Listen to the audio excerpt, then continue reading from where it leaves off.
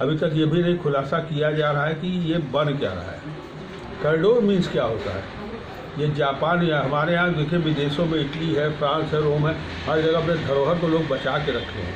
ये पहला ऐसा इतिहास में होने जा रहा है कि हमारे धरोहर ही जो है समाप्त किए जाए। तो हेरिटेज मीन्स क्या होता है? हेरिटेज को तो बचा के रखना चाहिए। अब प्रभाव, दुष्प्रभाव, ये तो आने वाला समय बताएगा। क्योंकि भगवान शंकर को शंकर समझिए आप।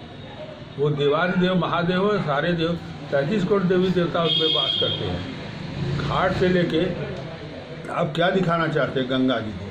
अच्छा कौन दर्शनार्थी, कौन आम भक्त जो है, जो चाहता है कि हमको जो है मतलब उजाड़ दिया जाए, या बाबा से मुझे दूर कर दिया जाए? भीड़ आती है, भीड़ जाती है। आप ऐसा काम करते जिससे कि जो है हिंदुत्व तो बचा रहता। आज हिंदुत्व तो ही हमारा खतरे में है। अभी कुछ दिन पूर्व एक जो है ज्ञानवापी का मस्जिद एक चबूतरा तोड़ा गया। मुसलमान आके जो है आक्रमण मतलब हल्ला गुल्ला में आधी घंटे में आपने चौतरा बना दिया। तो मंदिरों को तोड़िए और मुसलमानों को संरक्षण दीजिए। ये दोहरी नीति अच्छी नहीं है। सबका सबका साथ, सबका विकास तो ठीक था, लेकिन भगवान विश्वनाथ का विकास करने वाला राजा तो मैं पहली बार देखा हूँ।